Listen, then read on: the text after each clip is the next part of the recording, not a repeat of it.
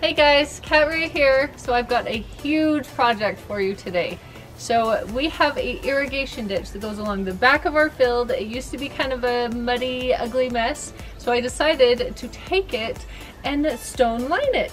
This has been a three-year project and um, I am just so happy this is done. So we have boulders, we have kind of river rocks, we got some gravel, and I had recorded an opening to this video at the first of the project, which was three years ago, and I was sitting there talking and my dad's right behind me in the tractor and as I was watching it later, all you could hear was the tractor. You could kind of hear bits and pieces of what I was saying. So that's why I'm recording it now after we're all done, but I'll show you the clips and then I'll find, show you the final project.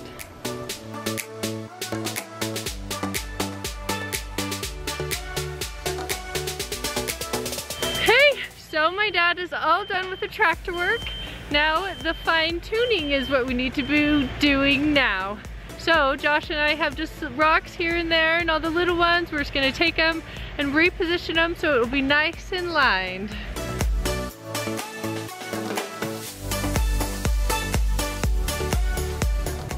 So we have done all of this side of the ditch. As you saw, we brought the tractor in, he pushed all the stones in, Josh and I kind of fine tuned it. I'm sure when we get another load we can put some smaller pieces, but for the most part we are done with this side of the ditch. Okay, so we have one more spot to do in this project. We have all of this ditch that we've already dug. My dad finished off over there with the tractor. Now we need to get another trailer full, then we will finish this project.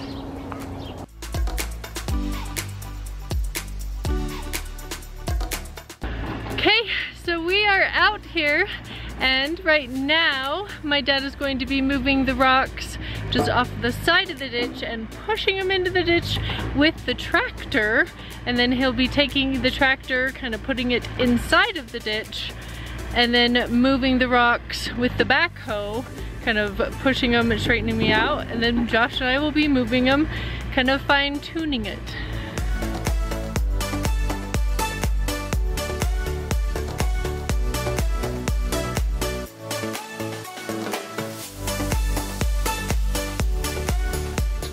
It is a Friday today and I've had most of the week off because the doctor I work for is out of town so I took some time off. I got two huge piles of gravel, probably about this big of gravel. I'm moving it from these piles into the ditch to line in between the boulders, kind of make it prettier and also keep the dirt from eroding away. So I'm almost done with this. So the last day I gotta just get the rest of this moved. So let's get some gravel moved.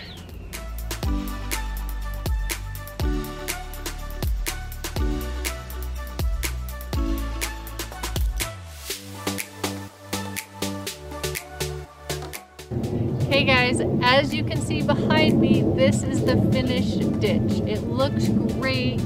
It looks wonderful. We did um, probably about 30 tons of rocks with this, probably five or six or runs to the rock place.